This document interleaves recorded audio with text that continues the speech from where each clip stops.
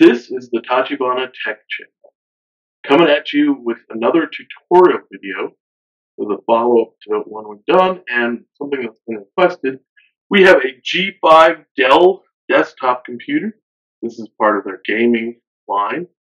And we had a couple people request, how do you get this open if you want to do some upgrades or anything like that? So, obviously we're looking at the front of the machine. We're going to want to take it, look at the back here, and we've got two screws securing in the side panel.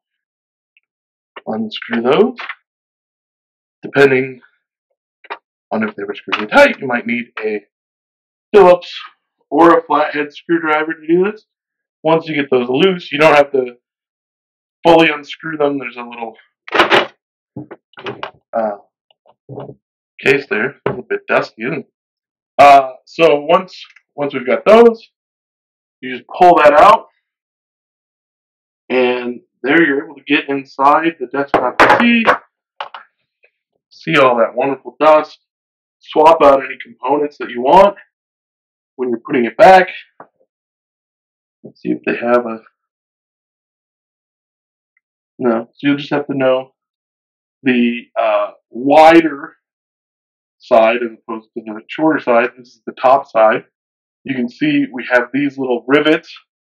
Those are going to slot in here and then lock in place. Uh, also have those at the bottom. So we take that, slide it in, push it back, and tighten these screws.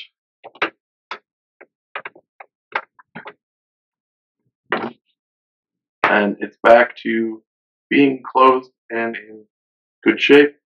Please feel free to like, share, subscribe, though for this particular video, if someone you know needs this instruction, go ahead and tell them how to do it if you want to, but we don't mind if you also send them a link.